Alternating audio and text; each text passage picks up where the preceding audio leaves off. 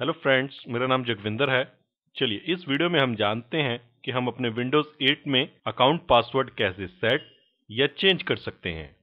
तो जैसे कि आप सभी लोग जानते हैं कि हम अपने अकाउंट को सिक्योर करने के लिए उसके ऊपर पासवर्ड सेट करते हैं। लेकिन अगर किसी कारण से आपने इंस्टॉलेशन के दौरान पासवर्ड सेट नहीं किया है या आपका पासवर्ड आप चेंज करना चाहते हैं तो आप ऐसा कैसे करेंगे? इसे सीखते हैं इस वीडियो में। तो इस एक्टिविटी को परफॉर्म करने के लिए चलिए चलते हैं। अपने विंडोज़ 8 कंप्यूटर के ऊपर।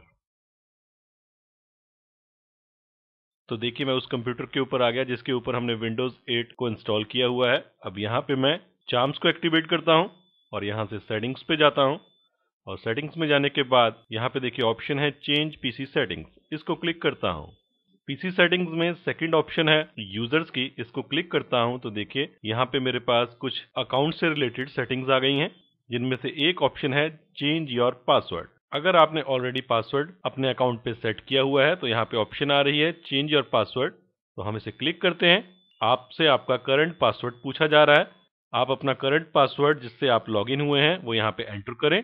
ये एक सिक्योरिटी फीचर है, इसलिए ताकि कोई और यूज़र जो आपके कंप्यूटर पे अगर बैठा है, आपसे पूछ के या बिना पूछे वो आपका पासवर्ड चेंज ना कर पाए। तो करंट पासवर्ड को एंटर करने के बाद नेक्स्ट क्लिक करते हैं। और अब हम एक नया पासवर्ड सेट कर देते हैं। उस पासवर्ड को री एंटर करते हैं और इसकी एक हिंट यहाँ पे एंटर कर देते हैं ताकि इन केस आप पासवर्ड भूल जाएँ तो आप इस हिंट को देख के पासवर्ड को याद कर सकें। इसके बाद हम नेक्स्ट बटन को क्लिक करते हैं। आपसे कहा जा रहा है कि अगली बार जब भी आप लॉगिन करें तो आप अपना नया पासवर्ड यूज़ करें। इसके बाद फिनिश बटन को क्लिक करते हैं। हमारा पासवर्ड चेंज किया जा रहा है।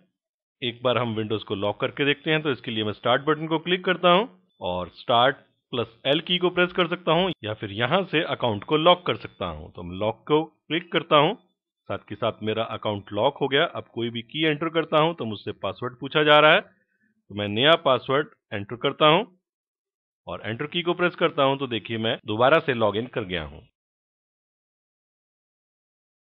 तो इस वीडियो में हमने सीखा कि हम अपने विंडोज़ 8 के ऊपर अकाउंट पासवर्ड को कैसे सेट या चेंज कर सकते हैं। तो इस वीडियो में इतना ही। Thanks for listening